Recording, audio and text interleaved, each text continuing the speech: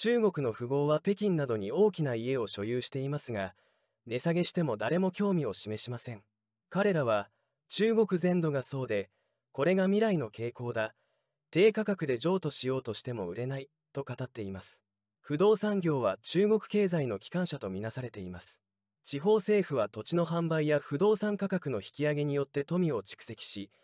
中国都市部の世帯において3分の2以上の富が不動産に結びついています。中国共産党中共国家統計局のデータによると5月には70の大中都市の新築物件と中古物件の価格が4月と比較して下落した都市が増加しました。そのうち中古物件の価格が下落した都市が55あり全体の約8割を占めています。上海の中古物件価格は前月比で0.8%下落し70の大中都市の中では最大の下落幅となり北京の下落は0.6%でした。中国不動産経営者連盟のと講師理事は中国新聞週刊に現在の主要都市の中古物件数をリストアップした。一部の主要都市の中古物件数は過去最高を更新し倍増に近い状態である。例えば広州では中古物件数が8万件から9万件で安定していたが現在は14万件に達していると述べています。中古住宅の数が増加しているにもかかわらず取引量は減少しています。中国のクレーン研究センターの統計によると上海では3月に2万4000件の中古住宅が取引されましたが4月には1万7700件5月には1万6000件程度に減少しました。2019年から2022年の5月までの中古住宅の月間取引量は2万3000件以上でした。陳明という中国の富豪は大紀元の取材に対し私の北京の家は環状道路内で有名な地区にあり当時1平方メートルあたり15万元から16万元でした。今では10万元に下げてもこの2年間誰も興味を示さない後世南寧の家は600万元で買い今400万元で売りに出していますがそれでも誰も見向きもしませんと述べています。台湾の財務専門家である高世宗氏は大紀元に対し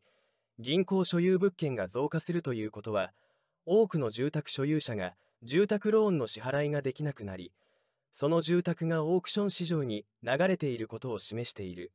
しかし一方でオークション価格も理想的ではない。つまりオークション市場の購買意欲さえも薄く皆が不動産の下落を予想している可能性がある。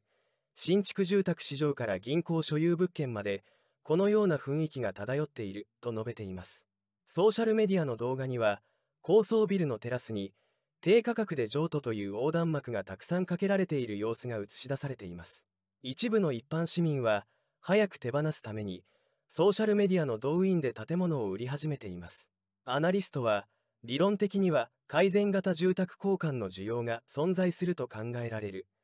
しかし統計データによると住宅の大部分は90年代以降に建設されており近い将来の大規模な建て替えはないとしています。アメリカの経済学者デイビー・ウォン氏は大紀元の取材でいわゆる改善型住宅交換という言葉は非常に奇妙だ。今ワクチンやマスクを売ったりして医者がお金を稼げるようになった以外はほとんどの一般市民の収入は減少している。つまり住宅を購入して生活を改善することができる人は非常に少ない。この数年間皆さんは未来の状況について悲観的で不透明な感覚を持っている。今はゼロコロナ政策が解除されたので3年間我慢してきた人々は迅速に投資先を変えるだろうと述べています。デイビー・ウォン氏は不動産売却の主な理由は現在の経済の活気と収益能力が低下していることだ。そのため多くの人が生活問題を解決しようとして不動産売却を選択していると考えています。デイビー氏はもう一つの理由は中国の将来の政策や外交関係国際関係が不明確であること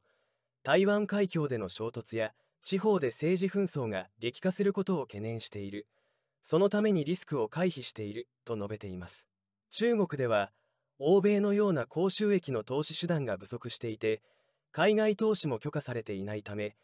一般市民の財産のほとんどが不動産と深く結びついています。中国の株式証券化ローン銀行ローンを含む総資産に占める不動産の割合は78%となっておりアメリカの35%と比べればはるかに高い比率となっています。デイビー・ウォン氏は大手デベロッパーによって開発された中国の新築マンション市場は価格面においては独占的である。そのため中古マンションの価格は下がり総取引価格も減少している。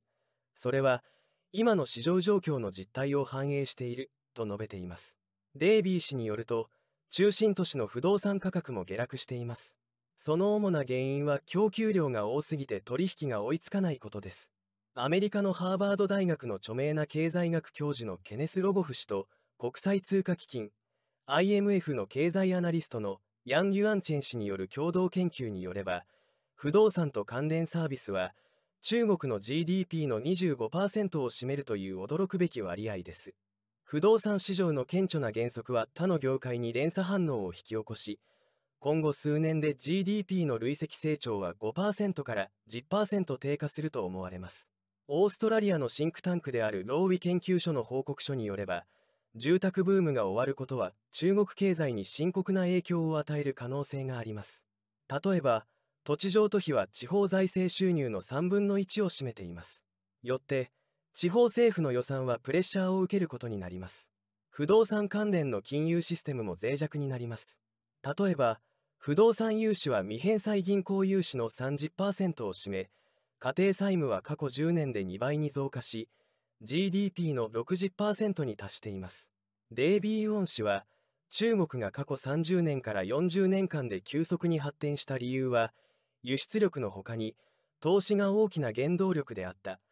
その投資の約50%が不動産に関連していると述べています。その上でデイビー氏はしかし不動産投資の中でもかなりの部分が輸出と関連している。企業生産には土地資源や動産資源が必要である。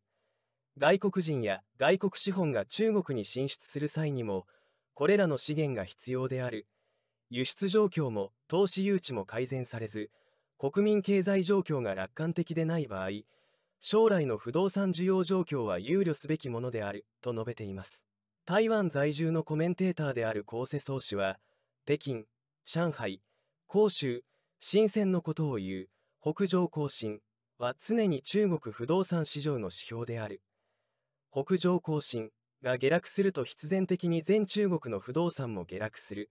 そうなると銀行や一般家庭の債務にも影響を及ぼす。不動産が本当に下落すると中国では非常に難しい状況となる可能性があると述べています。高瀬宗氏は例えば1990年代の日本の不動産バブルや台湾の1998年の金融危機アメリカの2008から09年の金融危機などは全て不動産価格が低迷したために起こったものである。例えば20%から30%下落した場合は経済全体の危機を引き起こしさらに金融システム全体の危機を引き起こす可能性があると述べています。講師は私たちが現在心配しているのは過去各国で発生した不動産バブルが中国でも今後数年以内に発生する可能性があることだ。最近習近平が極端な状況の発生を防止すると言及したことからもわかるように中共政府は注意している世界中のすべての経済学者もこのような事態を注視していると述べています。以上の番組内容は大紀元記者の総統氏と駅女子の取材報道をまとめたものです。さて今日はここまでです。私たちの番組を気に入っていただけましたら登録、いいね、シェアなどのご協力をお願いいたします。ご視聴いただき、ありがとうございました。またお会いしましょう。We would like to help you maintain a healthy body and mind so that you have the strength to enjoy a productive and fulfilling life.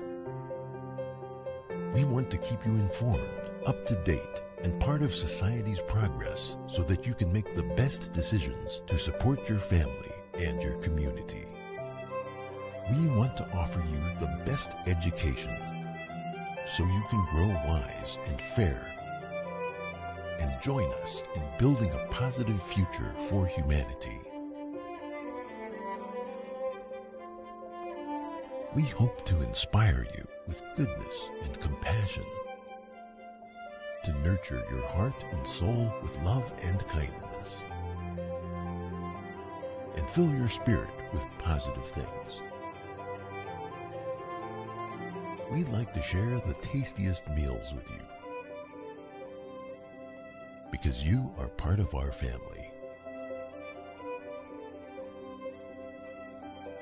We want to bring you the most interesting, funny, moving, and exciting things so we can enjoy every single day together. We want you to be the best part of our world. Kanjing World Technology for Humanity.